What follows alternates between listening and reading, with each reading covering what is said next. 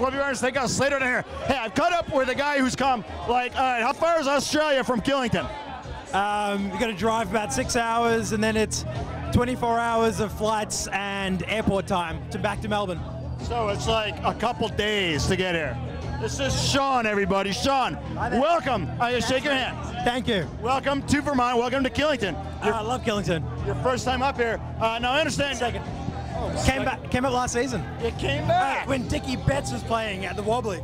You know he's coming back. Did you know that? No, I didn't know that. When's that? Uh, he's coming back like in a couple weeks. I got to check the, ca- the calendar. But you're saying to me that you were here for the Dickey Betts concert? Yes, last year. I was here as well. Really? You may not have recognized me because No, I because I was not uh, growing the moulet, as as you call it in Australia, right? Yes, the yes. The Malay is the uh, yeah the high high end mullet. As you can see here, perfectly groomed. Now, Sean, Yes. yeah, you tell the people out there in TV land what an unbelievable concert that was with Dickey Betts. That was awesome, wasn't it? Uh, it was fantastic. There was uh, Dickey Betts not doing much, just like he did in the Allman Brothers.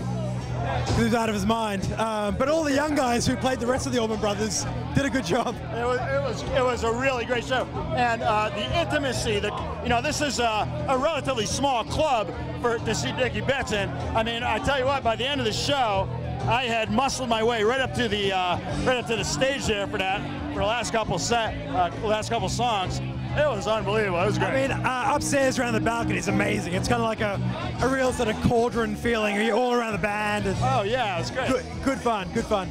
Now you said it's your second time back here. Uh, what brought you back uh, this time, beside all the fun here at the Wobbly and the skiing, of course? Well, obviously I'd come back anyway, but it's actually a, a mate of mine's bachelor party. Hence the the dress for dress code for tonight was ugliest shirt you could find and ugliest bow tie. So this is a bit of downtown shopping in New York City this morning to get here to Vermont to wear this ugly shirt and ugly uh, bow tie.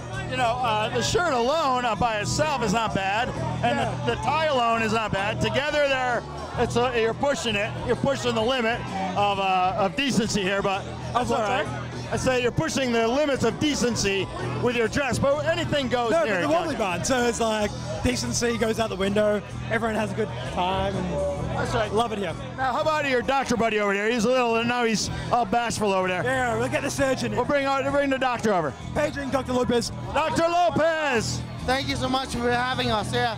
We're so- don't go too far. Stay over here. no, no, Sean. Thank you so much for having us here.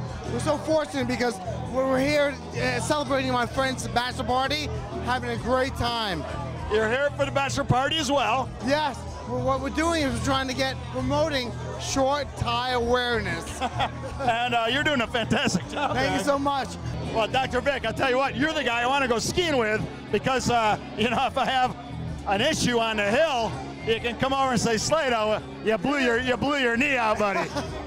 you know, we can fix it. Hopefully it won't be that bad, but you can call me if you need to. All right. Yeah, But what happens, I'll come down the run, Jaws or something like that, and you call me. I will call you.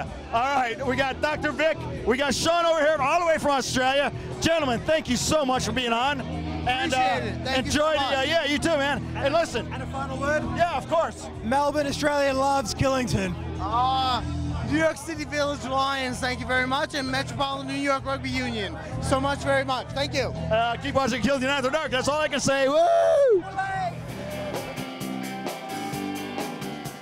Ole!